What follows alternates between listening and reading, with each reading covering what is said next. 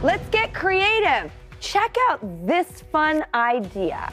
Hey Drew, it's me, Dennis. And Andrew, aka the Crafty Lumberjack. Today we're going to show you an easy and festive way on how to display all those holiday cards. First, you want to start with a branch or a birch log that you can purchase at a craft store and drill some holes in it. Yep, you want three evenly spaced out holes on the bottom. We're actually going to hang garland from there, and then one hole on the top, right in the middle. And we're actually going to use the top of an old hanger for that and just screw it right in. But we're big fans about using what you have in your home, so you can even use a hook for this or even some twine to hang. And now time for the garland. We're just using some faux garland and cutting them into about three foot long pieces and then hot gluing them right into the holes. But here's an opportunity to bring real garland into your home. You can, of course, use real greenery. Bring some of that outside in. And that's pretty much it. Now you're ready to hang on your wall. Now to attach the cards to the greenery, we're gonna keep it easy and use clothespins. Yes, but we have to bling them up a little bit. We're gonna be using a little bit of washi tape for that. You know, it's all about the details during this time of year. Yes, so festive, so beautiful. You can customize this, personalize it however you'd like. But it really is the perfect way to display all those thoughtful holiday cards you've received this year.